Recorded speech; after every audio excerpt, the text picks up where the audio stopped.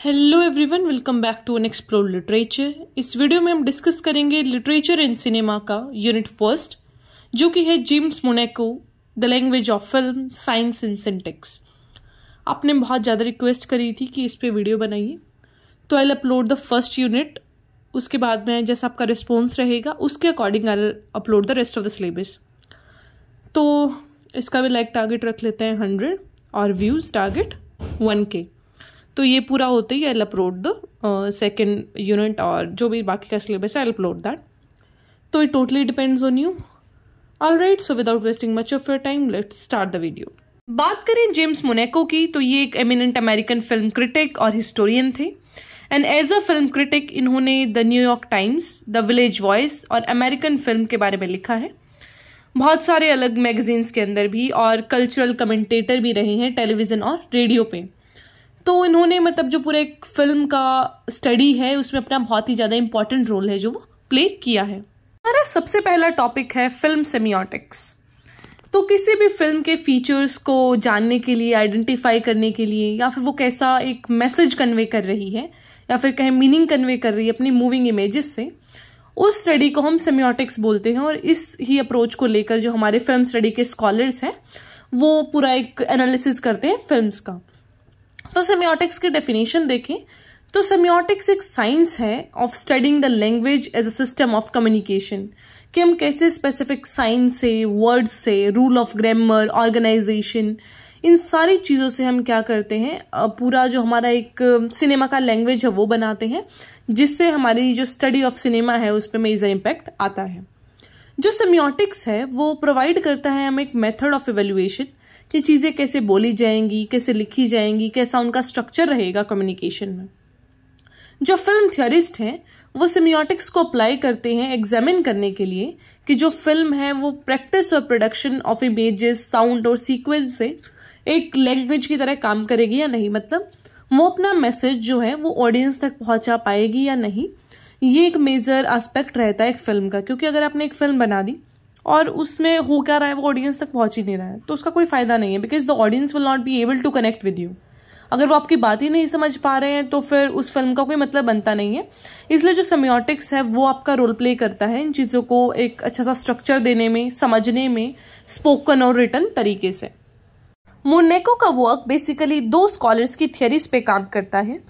पहले है क्रिश्चियन और दूसरे हैं पेयर्स क्रिश्चियन का work the imaginary signifier and Peirce का फ़िल्म लैंग्वेज बहुत ज़्यादा इंपॉर्टेंट रोल प्ले करते हैं फ़िल्म सेमियोटिक्स में और इन्होंने डीपली इन्फ्लुएंस भी किया है फ़िल्म थियोरी को 1970s से।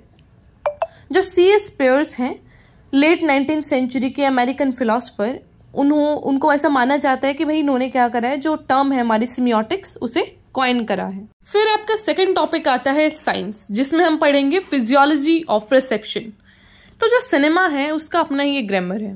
वो अपने ऑडियो विजुअल मीडियम से क्या करता है, पूरे इमेजेस को एक सीक्वेंस में लगा के कुछ जो एक मैसेज है, उसे इंटरप्रेट करता है। लेटेस्ट से कि हमने दिखाया कि सब लोग ऐसा वाइट कपड़े में हैं, बहुत पीछे सैड सैड सा म्यूज़िक बज रहा है तो विजुअल इफ़ेक्ट क्या हुआ कि सबने वाइट क्लोथ्स पहन रखा है।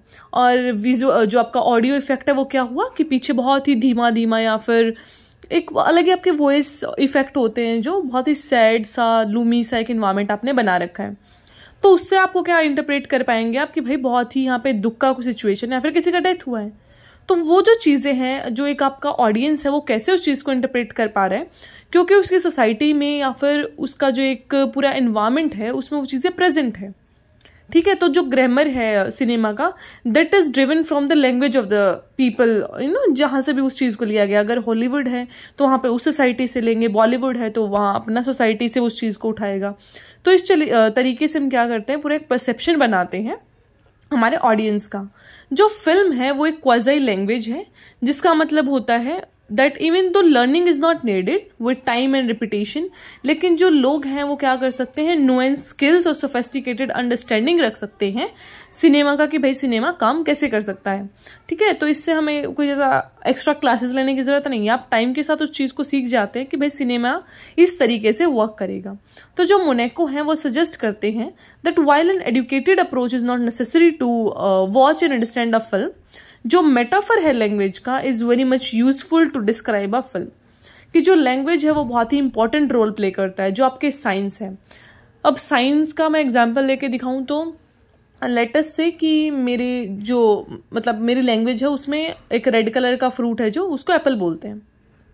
अब फ़िल्म में भी वो दिखाया तो आई रिकोगनाइज दैट कि भाई ये तो इस एक्टर ने एप्पल पकड़ रखा है हाथ में. ठीक है? लेकिन अगर जो आ, मेरी सोसाइटी है वहाँ पे जो रेड कलर का फ्रूट है उसे हम लेटेस्ट से पाइन बोलते हैं। तो मैं उसको उसी तरीके से तो एसोशिएट करूँगी ना तो किसी भी एक सिंबल का मीनिंग लैंग्वेज से एसोशिएट होता है। हम जैसे भी उस चीज़ को देखते हैं अगर रेड कलर की चीज़ है और हम उसे एप्पल बोलते हैं तो हमारे लिए एप्पल ही बन गया। लेकिन अगर किसी और सोसाइटी में उस चीज़ को बनाना बोलते हैं तो उनके लिए वो बनाना है। तो that totally depends on the language कि आप किस चीज़ को देख के क्या आपके दिमाग में इमेज बनता है। अगर मैंने बोला एप्पल तो आपके दिमाग में बनाना नहीं आएगा। आपके दिमाग में एप्पल ही आएगा। क्योंकि आपने उस वर्ड के साथ एक इमेज एसोशिएट कर लिया है। तो this is what they want to show या फिर what they want to highlight है इन शॉर्ट इसका मतलब यही था, इतनी जो पूरी बड़ी स्पीच थी, कि भाई जो आपका दिमाग है, उसने एक वर्ड के साथ एक इमेज एसोशिएट कर रखा है, जो कि आपको फ़िल्म के थ्रू प्रेजेंट किया जाता है। फिजियोलॉजिकल तो फ़ंक्शन हमने पढ़ लिया। लेकिन मोनेको ने दो तरीके बताए हैं इन चीज़ों को देखने के। एक है एथनोग्राफिकल और दूसरा है साइकोलॉजिकल तो एथनोग्राफिकल अप्रोच क्या बोलती है कि हम क्या करते हैं?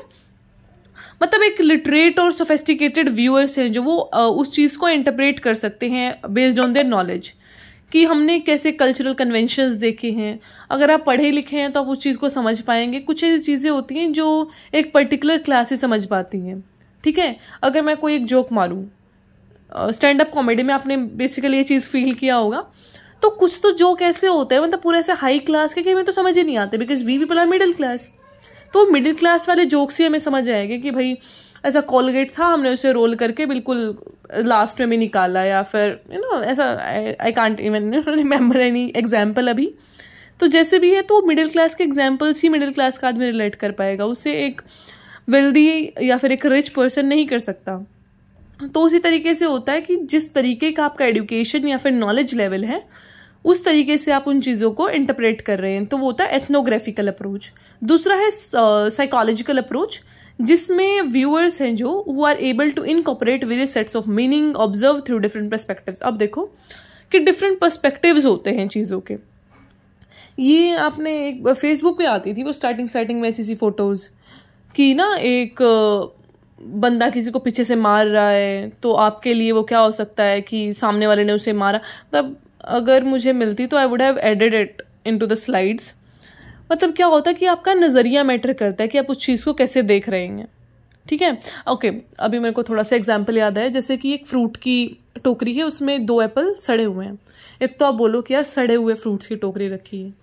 और दूसरा आप बोलो कि ना, ये फ्रूट्स की टोकरी में दो सड़े हुए एप्पल है। मतलब आप उस चीज़ को कैसे देख रहे हैं? आपका नज़रिया क्या है उस चीज़ को लेके? आपके एक्सपीरियंस से वो चीज़ें निकल के आती हैं। That is the psychological approach हमारा नेक्स्ट टॉपिक है फ़िल्म एज लैंग्वेज तो जो क्रिश्चियन है, वो बोलते हैं कि it is not because the cinema is language that it can tell such fine stories but whether it has become language because it can hold such fine stories कि cinema है जो इट इज़ नॉट बिकॉज़ कि जो cinema है वो एक language है, इसलिए वो इतनी अच्छी स्टोरी सुना पा रहा है। बल्कि जो सिनेमा है, उसने इतनी अच्छी स्टोरीज को फ्रेम किया है, इसलिए वो एक लैंग्वेज बन पा रहा है। समझ पा रहे हैं आप इस बात को कि सिनेमा का अपना एक लैंग्वेज बन गया है। वहाँ पे कुछ ऐसी ऐसी चीज़ें दिखाई जाती है, जो कि अलग ही रहता है। ठीक है, कुछ तो इतना सेम सेम से सीन दिखाए जाते थे, पहले जो मूवीज़ आती थी। कि जो लव, ये वाला सीन तो बहुत ही कॉमन रहता था पहले वाली मूवीज़ में, कि जो बिलवर्ड है वो हायर क्लास से है, फिर जो लवर होगा वो लोअर क्लास से होगा, उसके पापा शादी को मना कर देंगे तो तो हम उस चीज़ को बिल्कुल प्रोडक्ट कर रहे हैं। It's not the apt example here I know but I just want to present कि कुछ चीज़ें इतनी फाइन हो गई हैं कि हमें वो सीधा दिखती है मतलब वो एक सिनेमा का लैंग्वेज है to present the class structure ठीक है? तो कुछ चीज़ों को प्रेजेंट करने के लिए they have their own symbols and the language and the scenes जिससे हमें वो कुछ मीनिंग्स है जो प्रेजेंट करते हैं। तो सेमियोटिक्स में जो हर लैंग्वेज होता है, अपनी रिटर्न या फिर स्पोकन फॉर्म में, हर ऑल इंडिविजुअल सिस्टम्स एंड उनके अपने स्ट्रक्चर्स और साइंस होते हैं। तो जो सिनेमा है is constituted of image and image have a more direct relationship with what they signify तो जो इमेजेस है सिनेमा में हमें कुछ भी दिखा दे रहे हैं तो ऐसा नहीं है कि हम उसने कुछ भी दिखा दिया and we related to something else उनका एक डिफाइंड मीनिंग होता है, हमारी साइकोलॉजी पे भी वो डिपेंड करता है कि हम उसे कैसे देख रहे हैं. ठीक है, वो पहले भी हमने बात की, दो अप्रोचेस की, कि हम उस चीज़ को कैसा देख रहे हैं, हमारा पर्सपेक्टिव बहुत मैटर करता है.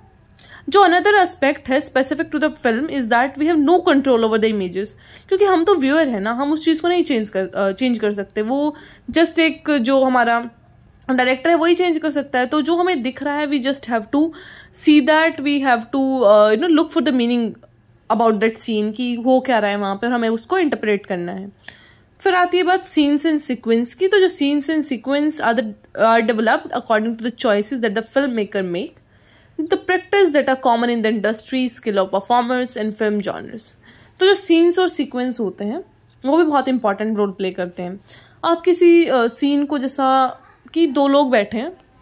और आपने बिल्कुल ऐसा, अब मेरे को सीन का तो ऐसा आई के नॉट रिकॉल द नेम आप बहुत ही क्लोज क्लोजअप सीन हाँ दैट्स क्लोजअप आई गेस उसे आप बहुत क्लोज से लेंगे, किसी दो व्यक्ति पे आप फोकस करेंगे ऐसा पूरा तो आपको पता लगेगा कि this two people are the leads और इनकी बात है जो बहुत मायने रखती है, ठीक है? तो किस तरीके से आप शूट कर रहे हैं चीज़ को, वो भी बहुत मायने रखता है कि कहाँ से, किस एंगल से वो चीज़ें देखी जा रही हैं। अगर वाइड शॉट है तो क्या इंपॉर्टेंस होगा? ठीक है तो वो सारी चीज़ें भी आपको बहुत ही एक डीप मीनिंग देती हैं और आपको स्टोरी को समझने में हेल्प करती हैं। हमारा नेक्स्ट टॉपिक है denotative and connotative meanings.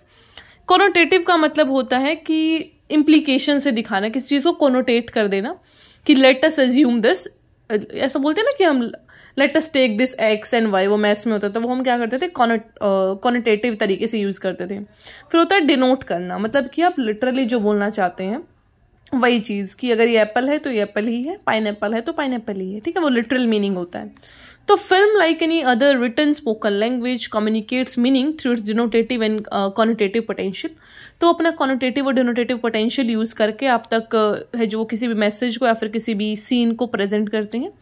और एक इमेज बेस्ड मीडियम है फ़िल्म तो वो स्ट्रांगली डिनोटेटिव है। ऑडियो विजुअल तरीके से वो आपको क्या करते हैं? एक रियलिटी का पूरा मुआयना देते हैं कि भाई ऐसे ये चीज़ें चल रही हैं। तो जो सिनेमा है, वो दोनों चीज़ों को कंबाइन करता है। इंट्रेंसिकली जो denotative abilities and connotative potential तो जो फ़िल्म का एक यूनिक एस्पेक्ट यही है कि वो कॉनोटेटिव एबिलिटीज़ हैं जो उसकी, वो डिपेंड करती हैं प्राइमरली ऑन द शॉर्ट्स कि आपने किस तरीके का शॉट लिया है? अब जो आपका एक विलन होता है, अगर आप उसको शूट करेंगे ऐसा पूरा यू नो वाइडर चीज़ से, या फिर क्लोजअप सीन में, और उसके चेहरे पे पूरा दिखाएँगे कि वो सीरियस सा चेहरा है तो उस तरीके से आपके व्यूअर्स को पता लग जाएगा कि भाई ये आदमी कुछ ना कुछ गड़बड़ करेगा आके। अब सीरियल्स में नहीं होता है। आपका वो, कई बार उनके चेहरे पर ऐसा फ्लैश फ्लैश सा मारते हैं, कि उनको पूरा झटका लगा है उस चीज़ से, और एक फिर वो आती है नागिन वाले serials types I was just looking at a video उसमें था कुछ ऐसा कि वो ऐसा पूरा पूरा अपनी चोटी घुमा रही है एंड शी इज़ लाइक अब मैं बदला लूँगी. तो उस टाइप का कि आप उस चीज़ को इतना फोकस कर दे रहे हैं कि the viewers get to know कि भाई ये कुछ ना कुछ गड़बड़ करके जाएगी। तो वो चीज़ आपको अंडरस्टैंड करना होता है and that depends on this shots कि किस तरीके का शॉर्ट है जो फ़िल्म मेकर ने वो लिया है। तो इस तरीके से आप ये जो डिनोटेटिव और कॉनोटेटिव मीनिंग है वो समझ सकते हैं। इससे ज़्यादा इस वीडियो में कवर नहीं करेंगे अदरवाइज़ बहुत ज़्यादा लंबा वीडियो हो जाएगा। सो आई होप आपको समझ आया होगा। फिर भी कोई क्वेश्चन है तो आप कमेंट में लिख सकते हैं। I answer that don't forget to subscribe the channel like the video and share it with your friends I meet you in the next video तब तक लाइक टारगेट पूरा करा दो एंड व्यूज़ ऑल्सो